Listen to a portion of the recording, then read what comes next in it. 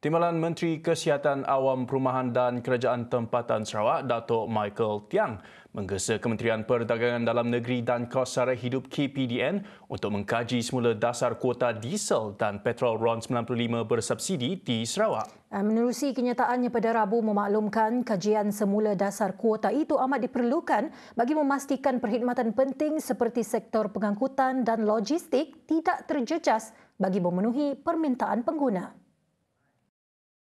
Beliau berkata demikian susulan laporan diterimanya daripada pengusaha stesen minyak di Sibu, Selangau dan Tatau yang memaklumkan kekurangan diesel didakwa berpunca daripada dasar baharu yang ditetapkan oleh Kerajaan Persekutuan mengenai kota diesel bersubsidi di seluruh negara. Ekoran daripada itu, sesetengah pemandu lori terpaksa memberhentikan perniagaan mereka kerana ketiadaan diesel. Rabu lalu, Petronas Dagangan berhad mendedahkan beberapa stesen Petronas di seluruh negara sedang menghadapi kehabisan kehabisan stok diesel dan isu ini dijangka berterusan sehingga Ahad ini 31 Disember 2023. Sebagai alternatif, Kementerian Perdagangan Dalam Negeri dan Kos Sara Hidup KPDN Sarawak menasihati pengguna untuk mendapatkan bekalan minyak diesel di stesen minyak Shell atau Petros.